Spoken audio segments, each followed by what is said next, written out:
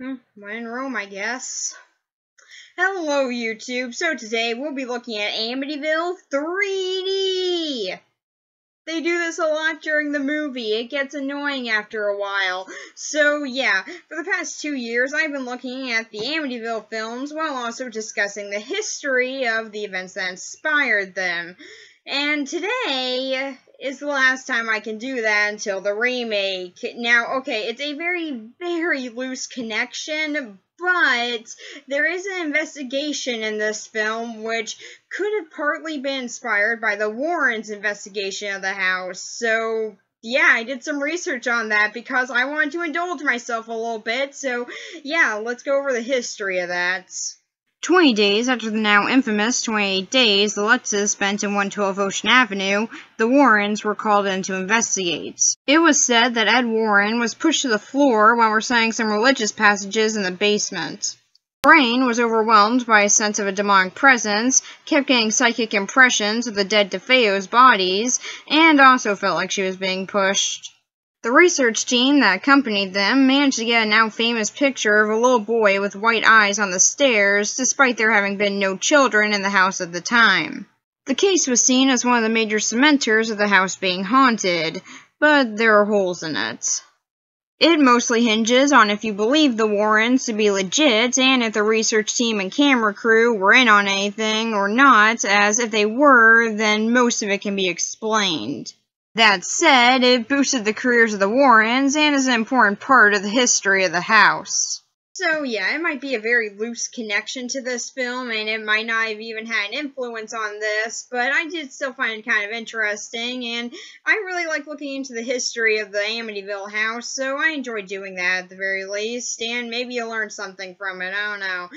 But yeah, I've prolonged this long enough, so let's get into Amityville 3. Yay!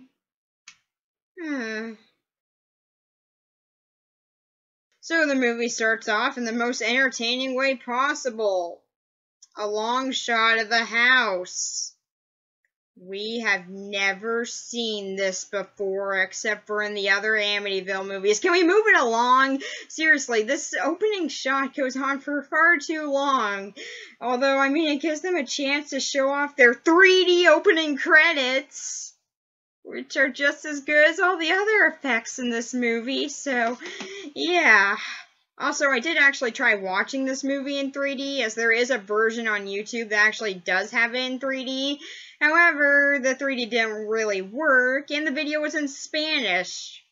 So I decided I'll mute the TV and play the English version on my phone and just, you know, watch it that way. Syncing it up was too annoying and I just gave up after like five minutes, but I tried to get the real experience. I would honestly kind of be interested in seeing this movie in 3D, ju just for the fact that it was supposed to be in 3D, and I would like to see how that would actually affect the film at all, but yeah, pretty much viewing it normally, though, um, get used to these shots. They're really fun, especially when it's of important things like flashlights. Seriously. So yeah, anyway, this movie opens up after the long boring shot of the house with a seance, and this is actually probably my favorite part of the movie. At first, it's just, you know, a regular seance. Pretty much everything that you expect to happen is happening. However, then it's all interrupted, but this was actually some journalists bursting in in order to, well, just show off the fact that it's fake. They start taking pictures of everything and just trying to get comments and trying to find and just getting information. It's actually kind of a fun scene, and honestly, I kind of wish that the rest of the movie were like this, sort of playing around with the fact of is it real or is it all just a hoax, which I think would have been the much more interesting route to go. But unfortunately, like another horror movie that starts off like this, that also had a third movie that was in 3D. I'm obviously talking about Scream, but yeah, anyway so yeah, like a movie that was like that, it opens up well, but let's see the rest. So yeah, moves on something that was actually kind of fun and a break from the norm to explaining how the Amityville house won't sell because of, well, you know, ghosts and crap. So, yeah, it actually does make some sense, and admittedly, this is also a little bit partially based on real life, as the Amityville house has both gone through a lot of ups and downs with sellers, as, well, fans want the place because, well, obviously it's a really cool place, and also just people like it because, well, it's a house that's normally sold for fairly cheap. However, then you got the fans. Oh my god, the fans of the Amityville franchise. This is why I never want to go to the house. I mean, it'd be cool, and I would, and I mean, like, okay, yeah, I would kind of want to go there and check it out. Trust me, I do. But here's the thing everyone in Amityville, even if you don't live in the house, has been harassed over this stuff countless times, up to the point where, yeah, it's just a nuisance. There's even been reports of fans pissing on their fence for no reason. And yeah, I'm sorry, I'm not going to add on to the annoyance of that to people who just want to be in a house or in a town.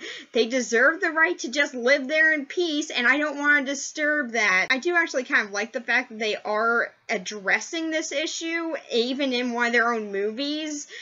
However, the way they go about it, though, is kind of stupid because they say it's because of ghosts. Yeah, no, it's not. Seriously, every family that has lived in the house after the Lutzes has had no reports of ghosts. Though they did add a fence, so that's something. Okay, I do like the fact that they're addressing this, but the way they're addressing it is really just kind of annoying to me because this is actually a real issue with this town, but instead they're just going to add the fantasy to it, which yeah, it's just kind of annoying to me. But yeah, anyway, one of the journalists that found out about the seance thing, John Baxter, decides, eh, well, I mean, the place is cheap and I kind of want a place to live, so eh, yeah, I'll take it. Because, I, I don't know, he, was there. It's a cheap place. He hasn't looked around for a place, but, you know, I mean, it's, it's a good place. It's cheap. I mean, I guess it makes sense, but it's a very on-the-spot decision, which he doesn't really think over at all. But yeah, anyway, his photographer Melanie has some objections to this, as well as his ex-wife Nancy, and they're going through a divorce right now, so yeah, that's just sort of exacerbating things with the fact that Nancy is kind of superstitious about the place because, well, people have died there. Admittedly makes some sense. However, again, the reason is because of ghosts. She is afraid of ghosts. And she decides that because she's superstitious about ghosts, that his daughter can't go to the house. Uh, yeah, okay, whatever, bitch. So, yeah, um, she even says that if he tries to dispute this, she's gonna go get her lawyer. I would love to see this case go to court. Like, okay, so yeah, what's this case about again? Oh, well, some, some mom doesn't want their daughter in this house because people died in it. Well, I mean, like, is there any other reason? Is the father, like, abusive or something? No, no, actually, he's a really nice guy who's actually trying to start up a successful career for himself. But, yeah, no, I mean, like, the house is scary.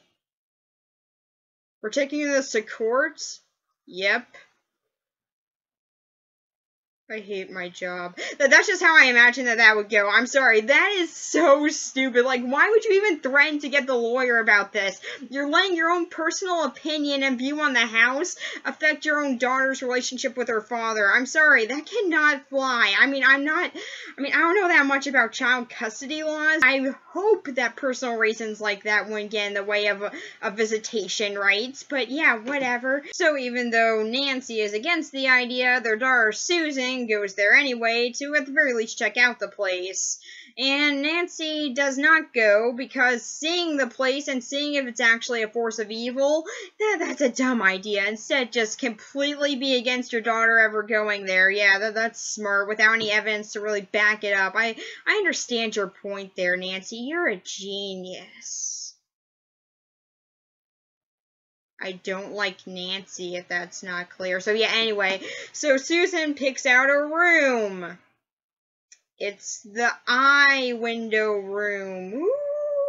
Which, according to some random priest who may or may not have been in the house, was so evil that he warned the Lutzes not to put up a room in there. So instead, they made it into a sewing room the Baxters were not given the same warning, I guess. And what horrifying things actually happens in this room that even a priest says you should not have any room in or anything? Nothing. Absolutely nothing happens in this room. Yeah might have been a touch of a missed opportunity there, just saying. So yeah, anyway, John is actually an aspiring author, and apparently he's been working with Melanie on it, so he invites her over to the house that night. However, he says they might not be there, in which case then, yeah, the house lady's gonna be there to let her in. So yeah, that's pretty much what happened. She gets let in, and the lights go out and the doors lock, and for some odd reason, the maid tries to attack Melanie. We never see why the maid tries to do this, she just does. I assume that she just tries to attack anybody despite being told that someone might come over that night. So I don't know why she was suspicious of this. But yeah, anyway, so yeah, after that, they just have a calm conversation because almost getting beat over the head is obviously something that you can just, you know, get over in like a few seconds. And so yeah, that's when the maid leaves and Melanie's left there alone. But then something truly horrifying happens the house opens the door and a gust of wind gets in. okay, um, so then the power goes out. And then Susan goes down to check, to, you know, turn back on. And, um, another gust of wind attacks her. Although this time it's stronger and coming from inside, and like some snow gets on her, and this scars Melanie. I have no idea why this would affect her as bad as it does, but she is in hysterics by the times that John gets back. But yeah, John actually has his own little encounter with the house, I assume. There's a fly that's in the elevator, and I guess the fly is from the house. So yeah, just, you know, flew all the way over here so it could magic up the elevator and make it just really quickly go up. And honestly, this is actually a pretty decent scene. I mean, it's nothing scary or anything, but it does have at least a moderately good sense of tension throughout it. So yeah, after a pretty decent scene, Melanie's in hysterics and leaves, and John does not think that this is weird. For some reason. Then Melanie starts doing some research on the place because, uh, I don't know, I mean, I kind of expected someone like John to be doing the research on the place, but yeah, Melanie had a gust of wind blow in her face, you know, truly horrifying. I don't get the scares in this movie. So yeah, anyway, someone dies in the place, and yeah, that kind of fazes John, but it seems like he died of natural causes, so it's not that weird. And Melanie finally finds out something about the house when she looks at a photo and there's a face on it. Scary. Yeah, so yeah, that gave her all the answers in the world there, I guess. I don't know. So she drives right over to 112 Ocean Avenue to find, to tell John because, I don't know, the face on the picture was scary. I don't know. Before she can get there, though, there's a fly in the car and the car lights on fire. I feel like could just drove her off the road, but no, fire! And she is completely burned to the bone from this. Don't know how that worked. I mean, like, that seems like that would take a little bit more time than that, but yeah, no, when someone sees her, she's nothing but bones. But she still moves. So yeah, I know, right? Skeletons always move, right? That that happens all the time, right? Yeah, probably. So yeah, anyway, the car sets on fire, and this doesn't even fatigue John. In fact, we never even see his reaction to this. Instead, he's just sort of cool about all this because he's totally fine with two deaths relating to either his house or him or an investigation into the house there is no connection here. Clearly, there is nothing odd happening. So, yeah, actually, at this point, I kind of do understand Nancy's side. Two people have died there now. At the very least, now is when you should be getting worried. But, but she was worried right when she heard about it. So, yeah, I'm still find her an idiot. But at the very least, it does make more sense now. But now John's the idiot. He's not seeing any connection with two deaths related to the house happening. Though, to be fair, one of them was caused by flies, so, yeah. And I do mean that, the, I do mean that, the guy who sold John the house, he gets killed by the flies. It's, wonderful, and I would have loved to have seen what actually happened there, but unfortunately this movie deprives us of that. Yeah, anyway, so Susan goes back to the place with her friend Lisa. Uh, well, least she brought a friend with her this time, so I mean her mom probably won't get too mad about this. Course she does, but yeah, still, anyway. So yeah, they so yeah, they went there to talk about the very important information of ghost sex. Nothing else. Just Lisa wanted to see the house because she did some research on it. Amazing. And apparently all of her research came from John's article about it, which was just about a phony seance. I don't exactly get why that would go into the exact details of the DeFeo murders, but yeah, apparently it actually did, as they got where Dawn died wrong, so huh, I know more than you, Lisa. Yes. Hours of research have finally paid off. So yeah, anyway, so they go back there the next day, this time with a few more friends, and engage in the very exciting activity of Ouija boards.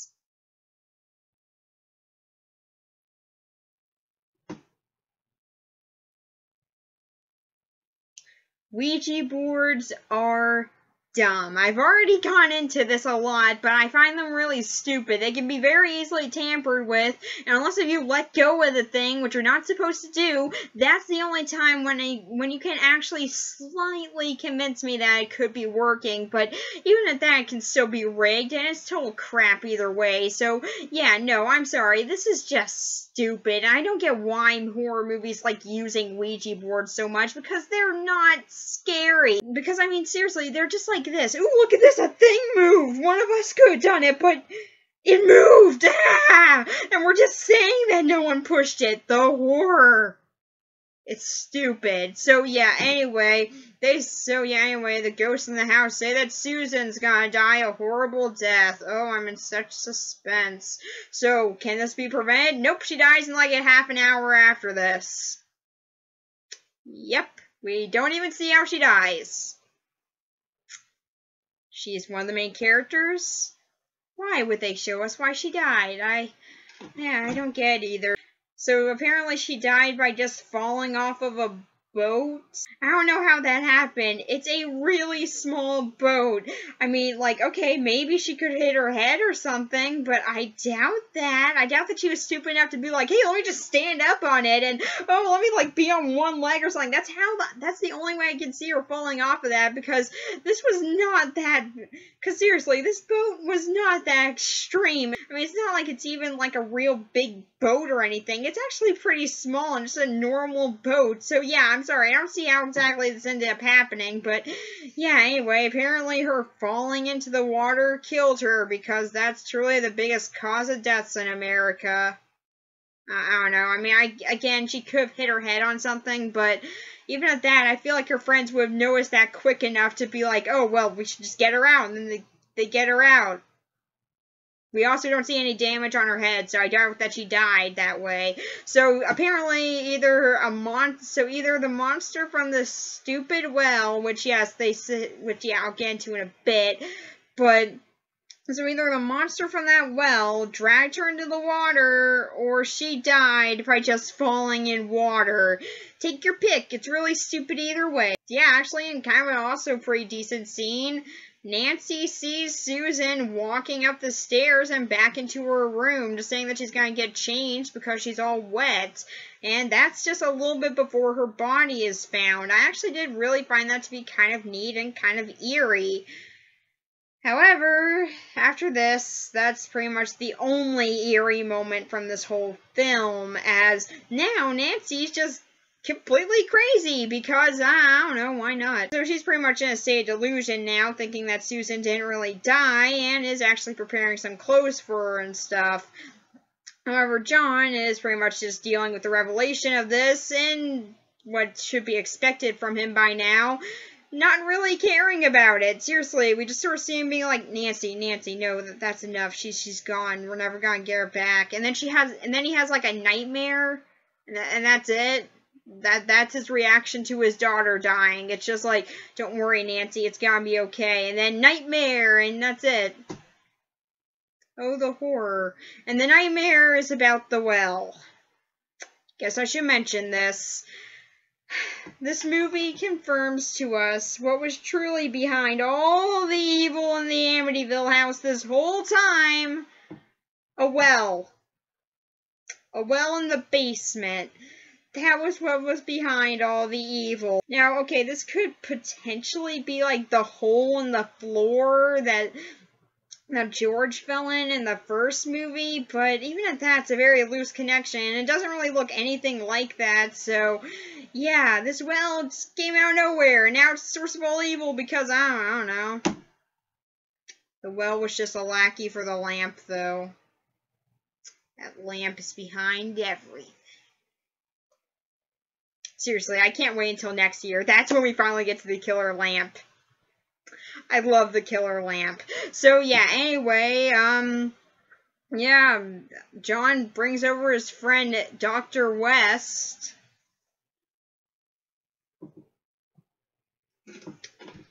You better believe I was thinking of Reanimator when I heard that. But yeah, anyway, apparently his name was Dr. Elliot West. So yeah, he's not the same. He's kind of fun though bit eccentric, so that's something. He's at the very least a moderately kind of entertaining character in this, so I'll take that where I can get, because it's hardly in this movie. So he brings over a research team and they get to work on finding out what's going on in the house. Yeah, like I said before, this is the closest part of this movie that seems even remotely inspired by any real events that happened. And yeah, well, I do still find it kind of interesting to look up some stuff. It's still very loose, and I'm kind of disappointed that I won't be getting to talk about any historical stuff involving Amityville next year because, well, amazingly, no one reported any killer lamps, so yeah, be bummed. So yeah, um, yeah, they start researching the place. And apparently this is what Amityville wanted, as all of a sudden some weird purple ball of light and fog starts moving around, and it says that Susan and sounds like her. So I guess that is Susan. I I don't know. I guess the house collects the souls of its victims because I don't know. The well told it to do it. I don't know. It's never done this before. But yeah, anyway. And no, it'll never do this again either. So yeah, anyway, the Susan ghost thingy tells Nancy to follow it to the basement. So, so, one thing that I actually kind of noticed that I found was kind of interesting is that at the beginning of the movie, something very similar to this happens. However, there it's all seen as, well, a hoax, which it is. However, here it's actually seen as fact. And I, I don't know, I feel like that's kind of an interesting way of going about it. And maybe if this were a better movie, I could have actually found that really clever, but Instead, here, Nancy just follows a sphere of light that sounds like her daughter because it told her to, and clearly this is a good thing. She's an idiot. So yeah, anyway, it leads her down to the well, and Elliot and Elliot says that John's gotta follow her because I don't know. Anyway, though Elliot somehow gets there faster than John or Nancy does. I don't know how that happened. So yeah, the sphere of light has now led them to the well, and it's pretty much telling Nancy to join her. which she tries to do. You are an idiot. So yeah, anyway, Elliot. So yeah, anyway, Elliot says to hold her back, which yeah, I feel like should have been given, but whatever. So Elliot gets a real close look at the well, and a monster pops out of it and drags him in. So um, yeah. I, was the well behind the house? Was that monster? I have so many questions. Why this stop this? Why this un, why this freed Susan's soul like he says it would? Why? Just why? But yeah, anyway, this causes ice to come out of it because I don't know, hell's frozen over or something. Who cares anymore? So yeah, anyway, they run out of the house and it blows up because the well was ice-based, so of course it's using fire. I don't know. But yeah, anyway, the house blows up and we get some real closure on what happened to John and Nancy. They walked away amazing. So anyway, the final shot of this film is hilarious to me.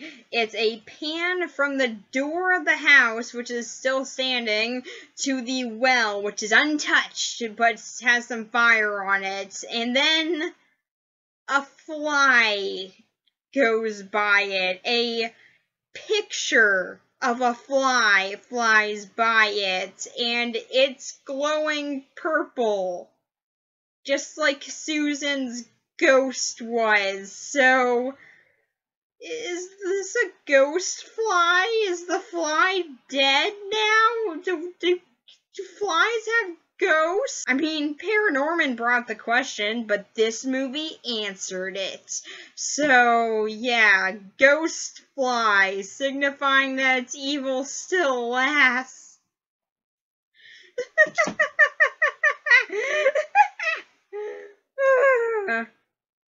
Ghost flies. The horror. The horror of it all. That it's allowed. I'm not gonna bother with that. Seriously, it took 10 minutes to get this stupid lens in. I, I don't care anymore. I'm just gonna do this with a half 3D thing now. I don't know. I'll probably fix it in between parts.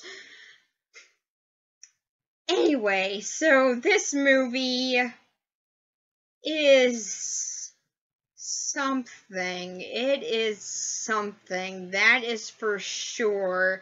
Okay, so I have kind of an interesting experience with this one. The first time I ever watched it, it bored me. It bored me so much and I was hardly paying attention, so I hardly knew what was going on. I was like, wait, what? But Susan died. She was just there and the well was behind monster house blowing up ghost fly. What? So then I rewatched this movie yesterday and it was fun this movie was actually really fun. I mean, okay, it's seriously stupid and has so many problems. Like, why is the well the cause of everything? Has it been the evil behind the Amityville films ever since the beginning? Is it still being evil? Will it ever be utilized again? Does it matter in the grand scheme of things? All these are no, but still, I mean, it raises so many questions, and it doesn't really answer any of them. Like, why was there a monster coming out of the well? Was that gateway to hell or something? Like, what was that? I want to know. Why exactly did it have an why exactly did it hate Susan? Why couldn't this have just been the regular, the house is haunted sort of thing? Why it had to be like this gateway to hell? And again, I feel like it could have been much more interesting if it instead played around with if this is real or just something that's caused on by what you've heard about the house. That to me would have been a much more interesting angle, and they do seem to bring it up, but instead they just never go anywhere with it, which is really a shame, as I think it could have been a very interesting look at both the fan base for Amityville and just the series itself. However, it is so stupid that it's honestly pretty fun. I mean, it never goes far enough into the realm of so bad it's good that I would have really enjoyed, but I still think that it's honestly kind of a fun movie. I mean, at the very least, if you go in with very lowered expectations, which like I said, I really hated this film when I first watched it. So yeah, going back with that viewing in mind, this was a way more enjoyable watch, and I think that's probably the best way to see it. So go in thinking that this will be the worst in the Amityville franchise, and then you might actually get something kind of fun out of it. I mean, it's not a good story or anything, it's nothing really interesting. I feel like, yeah, it did have potential that if it were embraced more, it could have been a much more engaging story, but as is, it's honestly kind of fun and can't be enough to be enjoyable. So, yeah, for the story, I think a five because I mean, yeah, like I said, it's not good, but it does still have some stuff that can save it, especially if you go in not really hoping for much. So yeah, the story might be crap if a little bit fun, but do the characters make up for that? Hmm, let's see.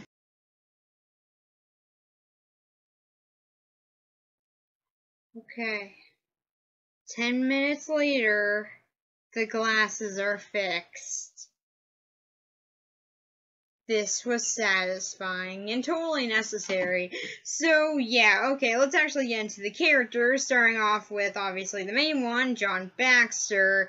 He is not very interesting. I mean, he's fine, but there isn't much to him. His, like I said before, his reaction to his freaking daughter dying is, honey, honey, no, no, it's gonna be okay. I mean, he's a nice enough guy. I didn't hate him or anything. He's just bland. And honestly, has very odd underreactions to a lot of things. So yeah, that's a major problem with him there too. So yeah, there's not much to him. But then there's his wife, well, ex-wife, Nancy. Hmm, don't touch the lens. Uh, Nancy, as I've stated, is an idiot. We're threatening to call her freaking lawyer over the fact that John might want his daughter to come over to his house sometimes, you know, just to visit with her. I'm sorry, I completely disagree with. And her big reason for that, I don't like the house. Yeah, who cares if you don't like the house? I don't care. She should be allowed to see his own freaking daughter, okay? I'm sorry. That's just really uncalled for. But, yeah, I mean, it's not like he's a bad person or anything. Like I said before, he's just bland. So unless if you wanted to die of boredom, then no, I don't think that anything bad will happen to her, at the very least when he's around. So, yeah, I'm sorry. I really did not like Nancy for those parts. But does she get better at all when, like I said before, I was a little bit more on her side because, you know, two deaths had happened? Not really. Not really. I mean, then she's just sort of snooty about, like, I told you so. See, this place is evil. Yes, I was right. Thank God people died, or else I would have looked like a real idiot. So, yeah, I mean, like, she doesn't go that far or anything. Obviously, I'm over exaggerating that, but still, she is like, well, I was right about this, and this is just confirming it, so you can never step foot on that house again. You know, normally when you tell a teenager not to do something, that kind of causes them to want to do it more. I'm just saying. That's exactly what happens. But yeah, after Susan dies, is she at all better? A bit. At the very least now she has embraced her insanity that I knew was there all along. So yeah, I mean, then she's just sort of annoying and yelling, Susan's alive! And yeah, that's not overly interesting, believe it or not. So, yeah, either way, I didn't like Nancy. Moving on from her pointlessness. then we got Susan. She really is just like her father bland. And yeah, okay, so she pretty much has like three whole scenes before she dies, and then one scene after. Two, if you count the fact that she's a ghost, but even at that, we don't actually know what that's her, so yeah, might not be her, so I'm not counting it. So yeah, amazing. She's truly important in this film, as you can tell. I mean, heck, okay, so John's photographer has more scenes than her. That is a problem. So, yeah, we're supposed to feel sorry for Susan, but honestly, I didn't really feel anything because I didn't know her well enough. I mean, really, at the end of it, though, she's just not really that interesting. I mean, at the very least, John had some ambitions. With Susan, it's just like, she's, um sleeps with dolls, apparently. She's a freaking teenager, but yeah, apparently she still has a doll on her bed. I don't know. To be fair, I do have a bear stuffed animal on my bed, but the reason for that is because it's actually a pillow, so yeah, I like actually using it as a pillow. She has like a freaking Raggedy Ann doll, so no, it that cannot be utilized as a pillow, so it does not serve a double function, so therefore it is useless.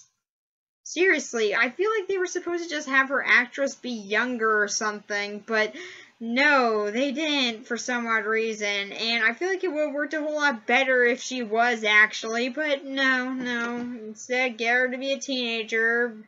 And yeah, she's just not overly interesting to me, and I just never really found her to be engaging. Even after she died, I just wasn't all that interested. Then we got Elliot West. Or Dr. West. Just laying down the computer. But, um, yeah, so, yeah, I, um, I loved this character because I got to reference Dr. West a lot. I mean, I honestly I do that in a lot of movies, but in this one in particular, there was more of a reason. So yeah, Doc. So yeah, Elliot West is fine. He's a bit eccentric, honestly, which I think is probably why he's one of the more interesting characters to me. But still, there's not all that much to him. He just sort of stands out a bit more, and also his death is pretty great. Seriously, he like sacrifices his life for this family that he hardly knows. It's it's pretty great. Also, he dies in a pretty brutal way by getting burnt and then getting dragged down into, like what I said before, I assume is the pits of hell. So yeah, I feel really bad for this completely innocent guy who John called insane for some reason. I don't know why. I mean, like, he was yelling about it, but he was right, so why call him insane? Whatever. So, yeah, Elliot is honestly one of the better characters in this to me, and one of the more enjoyable ones. So, yeah, I at the very least enjoyed his part in this, and he's definitely one of the more reasons that I kind of found myself enjoying this movie more, as the first time I watched it, I forgot that he even had a name, so, yeah. Also, then I hadn't seen Reanimator, so his last name being West and him being a doctor, just I, I didn't even have any ref I didn't even have anything to say about. But now I made like five references. Yes. Reanimator is great. One day I'll talk about those movies, but that day is not today. Instead, we're talking about crappy haunted house movies, clearly far superior. So yeah, anyway, after that is Melanie. She's a photographer. She gets really scared by a gust of wind. Ooh! She's not overly interesting. So, yeah, I mean, she's fine too. I mean, like her actress is at the very least good, and actually a lot of the actors in this are pretty good, but still, she's just not overly interesting either. She's just sort of easily scared off from the house, but then also wants to go back there because she saw the ever important bit of a face in a picture, and that revealed everything. I don't know. So yeah, she's not all that interesting of a character, but eh, I can't say that I hated her or anything. And yeah, her dying was honestly kind of sad. So then we got Lisa. She's there. She's played by Meg Ryan. That's something. There are actually quite a lot of actors in this that went somewhere far better. So I feel way, so I actually feel pretty good for them. But, uh, yeah, Lisa, she has the very important role in this film. Of talking about ghosts having sex. Truly, she's important. So, yeah, Lisa is alright. I don't hate her or anything, but she's just not overly engaging. I feel like a broken record right now, but yeah. So, yeah, for the characters in this, two, there aren't that many that are really interesting, and all the performances are good enough. I mean, there's nothing that's really standouts in this, and none of them are overly memorable in any way, or even have any lines that are really that impactful. So, yeah, none of them are overly interesting in this, and don't make the film any more engaging, but they also don't make it any less boring, really. So, at the end, they're just sort of eh. So for this film overall, it is very mixed, honestly. I mean, originally I thought that I was just gonna say that was horrible, but upon a rewatch, I actually enjoyed it a whole lot more than I thought I would. I don't know, maybe I've seen a whole lot more crappy movies in the past few years, I don't know, but still, this is a way better film than I think that gets any of the credit for, at the very least for being super campy, which I found to be kind of enjoyable. That said, though, it's probably best to watch it with lowered expectations because if you don't, then yeah, it's pretty much what everyone says it is. Crap. Because really, when I watched this movie, kind of expecting a good film, because I was like, oh, well, it's one of the more earlier Amityville films, so maybe it's pretty good then you won't get any of that. It's very it's a very weird story that doesn't really go anywhere or is very memorable in any way. The effects are pretty dated, honestly. While there are some decent ones that are practical, all the 3D stuff feels very pointless. And also the characters aren't very engaging and really it's just kind of a boring movie overall. That said, though, like I said, rewatching this, it was way more fun than I remembered. So, like I said, watch it with very lowered expectations. Like, hardly expect anything from this movie, and then you might have a little bit of fun with it. I know that I'm saying, I know that the way I'm saying it makes it sound like it's way better than it is, but yeah, it's really not. It has a lot of problems, but I think that it had some potential while playing around with the whole is everything that's happening here real or not? As I feel like that could have been a very interesting subject to have dived further into. Instead, though, they don't really keep it.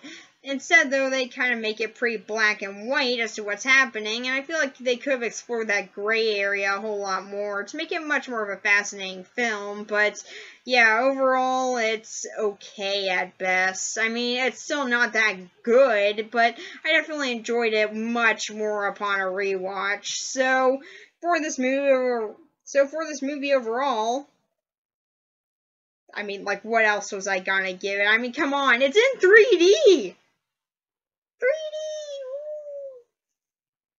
3D is really stupid in this movie. So, now we are done with Amityville 3D.